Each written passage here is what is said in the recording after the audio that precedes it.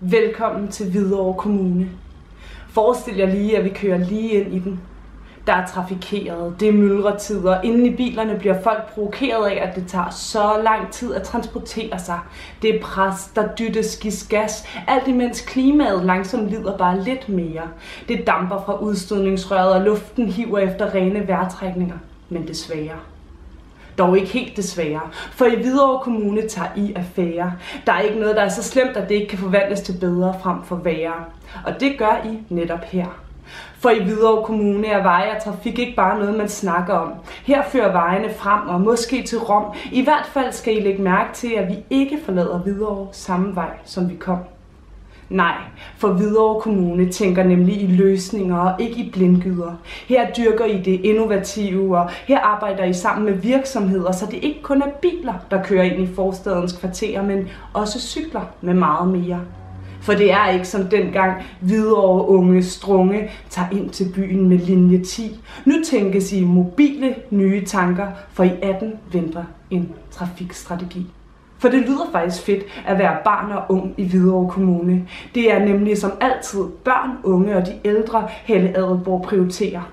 Derfor er der fokus på, at de store folkeskoleelever skal have en chance for at motivere deres valg for fremtidens karriere. Ja, at de kan svare på spørgsmålet, hvad vil du være, når du bliver stor?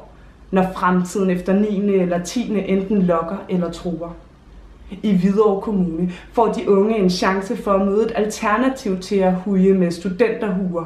I november 17 var i alt 25 virksomheder fra Hvidovre Kommune til stede og vagte begejstring, nysgerrighed og glæde til mød en virksomhed og gav vide, hvad der fangede de unges opmærksomhed, hvilke måske trafikerede veje de ville lade deres fremtid dreje af.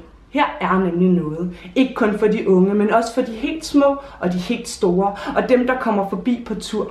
For det var nemlig i det forgangne år, at Hvidovre Strandpark stod klar. Og fra Mørkelranden til Hvidovre Havn ligger nu et fænomen med et kom så i badetøjet klingende navn. Stormflodsoversvømmelser blev overvundet. Stranden og parken blev ægte forbundet. Det grå sand og grønne græs kreativt adskilt og sammensmeltet på samme tid med organiske bølgede kurver af bugtende multifunktionel beton faktisk inspireret i videlig hvidovre ånd af netop snittet hvidkålsfasong.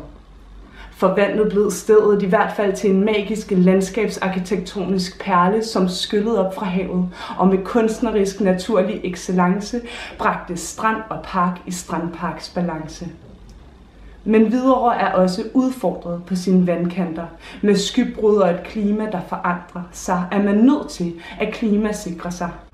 Sidste år bød klimaet så på stormflod endnu en gang, som Helle også lige sang. Her var på ny dråber, der blandt andet fik kalvebruderne og Harstrup Å til at flyde over.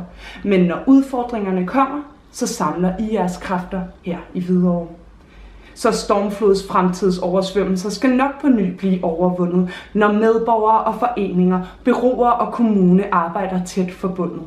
Sammen er vi stærke, og sammen sikrer vi videre mod skybrud. Det er et opråb og et udbrud, der vil noget, ligesom det også har medført, at skybrudsgruppen er opstået.